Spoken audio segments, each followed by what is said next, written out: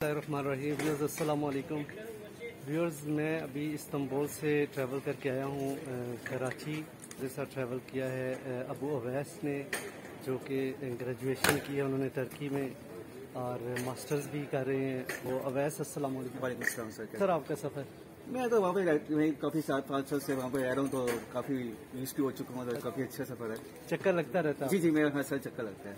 अच्छा वैसे आप एजुकेशन के बारे में बताएँ कि टर्की में एजुकेशन सस्ती है या एक्सपेंसिव है और आप अपनी ग्रेजुएशन या मास्टर्स का भी बताएँ और मेरे इन सारे क्वेश्चंस को आप अपनी गुफ्तु में समराइज करिएगा कि आप क्या स्कॉलरशिप पे गए थे एच की तरफ़ से या आपने यहीं से कोई और दूसरा, पाकिस्तानी को गाइड करे कि किस तरीके से वो एडमिशन के लिए अप्लाई कर सकते हैं। तो पहले सवाल का जवाब ये है कि बच्चों के हवाले से, जो छोटे बच्चे हैं, उनके लिए ये है कि जिनके पास, जो काफ़ी हाई फाई लेवल के पेरेंट्स हैं, जिनके पास वो खर्चा उठा सकते हैं, जो तीन हज़ार डॉलर से लेके पाँच हज़ार डॉलर तक पे कर सकते हैं, उनके लिए वो जगह फीसेबल है कि वो वहाँ पे जाके रिहाइश लेके और फिर वहाँ पे बच्चों को ट्रांसफ़र करके, वहाँ पे बच्चों को पढ़ाएँ तो वो गुड अच्छी चीज़ है।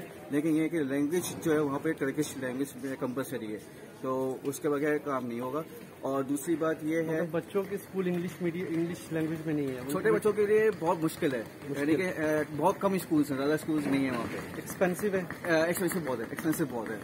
और मेरे हिसाब से यानी कि जैसे अगर मैं कहूँगा कि अगर कोई बच्चा पढ़ने आ रहा है यानी कि कोई यंग एज का लड़का जो अभी कॉलेज से कॉलेज से ग्रेजुएट हुआ है इसने ए लेवल्स किया है या ओ लेवल्स कंप्लीट किया है तो वो लोग वो उनके लिए बहुत अच्छी चीज़ है कि वो लोग जो है एच एस सी के थ्रू भी अप्लाई कर सकते हैं। और दूसरी बात यह कि वहाँ की टर्किश वेबसाइट है उसका नाम है तुर्की बुसलार उसको आप गूगल, गूगल पे आप सर्च करें वहाँ पे उनकी हर छह महीने बाद एक स्कॉलरशिप प्रोग्राम शुरू होता है। दोबारा वेबसाइट बता दें तो वेबसाइट का नाम है तुर्की बुसलार आप गूगल पे लिखेंगे आपको इस में आ जाएगा किस तो आप उसको मिले। और दूसरी बात यह है मैं अब अपने बारे में बताऊँ कि मैं किस तरह गया था। मैं दो हज़ार सोलह में गया हूँ पाकिस्तान से। और मैंने जो है, यहाँ पे मैंने बहुत रिसर्च की पहले, मैंने अमेरिका जाने का सोचा, फिर मैंने मलेशिया के बारे में सोचा, लेकिन मुझे समझ में नहीं आया। तो मैंने जो है टर्की की कुछ यूनिवर्सिटीज़ यहाँ पे आई थी स्कॉलरशिप प्रोग्राम्स के लिए जो नए बच्चे उनके शुरू हुआ था। तो मैंने ये मेडियप में उस टाइम मेडिएट के टाइम मेडिएट पे हुई थी उसकी एग्जीबिशन उस टाइम पे मैं अपने डॉक्यूमेंट्स लेके गया मैंने अपने डॉक्यूमेंट्स दिखाए। और जो मुझे फिजिबल लगी, जो मेरे को लगा कि मैं स्कॉलरशिप मेरे को मिल सकती है तो मैंने वहाँ पे उस यूनिवर्सिटी के अंदर मैंने एडमिशन लिया, मुझे स्कॉलरशिप मिली। फिर मैंने अपनी चार साल की डिग्री वहाँ से कंप्लीट करी। उसके बाद जो है, मेरा जो खर्चा था टोटल जो वो था 50 परसेंट स्कॉलरशिप के मुकाबले में। यानी कि जो नॉर्मल फ़ीस थी, वो छः हज़ार डॉलर थी। तो जब 50 परसेंट स्कॉलरशिप मिली तो तीन हज़ार डॉलर के हिसाब से मैंने अपने पूरी बैचलर्स डिग्री कंप्लीट करी। उसके बाद आ, मैंने मास्टर्स अपने मास्टर्स के लिए मैंने जब अप्लाई किया तो मैंने उसी यूनिवर्सिटी के अंदर मास्टर्स के लिए अप्लाई किया और मुझे ये कंटिन्यूस स्टूडेंट के बिहाफ मुझे और डिस्काउंट मिला। तो मैंने वहाँ पे फ्री में जो है मास्टर्स कंप्लीट किया। जी यानी कभी मैं कर रहा हूँ ऑलमोस्ट अभी ला, लास्ट ईयर है मेरा।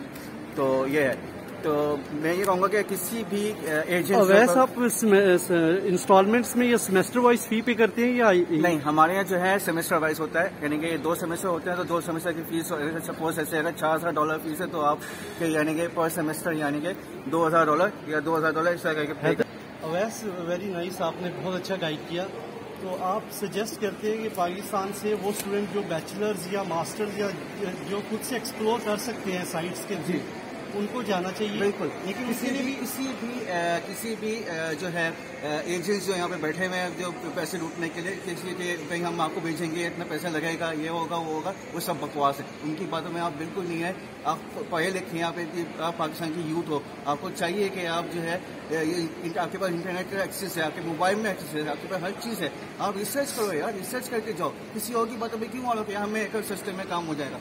सस्ते के मामले में आपको और कुछ नहीं बल्कि आपके साथ बहुत मसले हो जाएँगे कि आपके पैसे जगह होंगे। पेरेंट्स आपके अपना पेड़ काट के आपको भेज रहे हैं। तो आप इस तरह इस तरह करके जो है आप करोगे। आप रिसर्च करो, आपको बहुत कुछ आपके पास बहुत सारी एक्सपीरियंस है यार। टर्की के अलावा बहुत सारी कंट्रीज़ हैं। आप रिसर्च करो, आपको बहुत सारी कंट्रीज़ के बारे में मिलेगा, लेकिन किसी के फालतू एजेंट्स के पास मत जाना। जो जो लीगल है थैंक यू अवैस की बातों से जो कंक्लूजन है ना, वो ये है कि टर्किश का लैंग्वेज बैरियर नंबर दो टर्किश का हाई एक्सपेंसिव बच्चों की study family movement in case of आप बच्चों की तालीम के साथ मूव करें तो नॉट फिजिबल टूअर के पॉइंट ऑफ़ व्यू से गुड है। और सबसे अच्छी बात कि आप बैचलर्स और मास्टर्स के लिए ज़रूर जाएँ। और कितना आप समझते हो कि वहाँ की डिग्री का इसकी नस्बत वैल्यू है? पाकिस्तान के अंदर में मैं पढ़ सकता था, लेकिन मैंने जो है वे टर्की इसलिए चूज़ किया क्योंकि टर्की के एजुकेशन जिनकी जैसे मैं सिविल इंजीनियरिंग करके फारिग हुआ तो सिविल इंजीनियरिंग का इतना इतना स्कोप नहीं है पाकिस्तान के, जितना वहाँ पे स्कोप है। तो जितने भी दुनिया भर के जितने भी इंजीनियर्स पढ़ के निकलते हैं वहीं से पढ़ के निकलते हैं। तो इसी वजह से मैंने चूज़ किया टर्की को, क्योंकि वहाँ के आर्किटेक्चर डिजाइनिंग्स वहाँ के engineers high quality high high qualified होते हैं। तो इस वजह से मैंने वो चूज़ किया जो मुझे यहाँ नहीं मिला पाकिस्तान में। बिल्कुल सही कह रहे जी। अवैस के इंफ्रास्ट्रक्चर तो कोई मतलब की मिसाल नहीं है टर्की का। सो डिवेलप्ड और सो मतलब कि systematic and design you are right Awais. तो अवैस बॉटम लाइन ये बताएँ कि टर्की कैसा लगा आपको? टर्की में रहना आपको और टर्की में एक आम बंदा जो यहाँ से मेरे जैसा जाता है, उसका और अपना कोई इसको मतलब बॉटम लाइन एक आप बयान करें मैं ये कह सकता हूँ कि जो नॉर्मल पर्सन जैसे आपके लिए कह रहा हूँ कि जो फैमिली बेस्ड पर्सन हैं, उनके लिए ये कि भाई वो अपने, अगर ऊपर सिर्फ़ टर्की में रहना है तो ठीक है, वो जाके अपनी एक छोटी सी इन्वेस्टमेंट करें और जाके एक अपना आईडी कार्ड ले लें और इसके बिहार पे आप जा सकते हैं छः हर छः महीने बाद जाके अपना वहाँ पे टाइम स्पेंड करें और फैमिली के साथ आज वापस आ जाएँ। लेकिन फॉर मेरे लाइक जैसे मैंने वहाँ पे पूरा चार साल निकाले थे उसके बाद दो साल और निकाले तो मेरे को चाहिए कि मैं जो है वहाँ पे अपना एक अपनी एक अपना बिज़नेस बनाऊँ अपना एक अपना एक जॉब को लेके चलूँ या एक बिज़नेस खोलूँ अपनी कंपनी खोलूँ या तो उसके हिसाब से फिर मैं अपने आप को वहाँ पे सेटिंग कर सकता हूँ। तो लेकिन मेरा प्लान यही है कि मैं जो है अपने आप को एक जॉब पे पहले एक्सपीरियंस लूँगा उसके बाद जो है एक अपनी कंपनी खोलूँगा। वैस के लिए बहुत सारी दुआएँ व्यूअर्स अल्लाह ताला इसको कामयाब करे ऐसे तमाम स्टूडेंट्स जिनके साथ मेरी बात हुई है। और जो यहाँ से अपने वालदेन से, बहन भाइयों से दूर प्रदेश में मेहनत कर रहे हैं it's not easy to live there और मैंने टाइम गुजारा है तो आई सल्यूट यू और आप पढ़ो बेटा जी अपने वालदेन का नाम रोशन करें।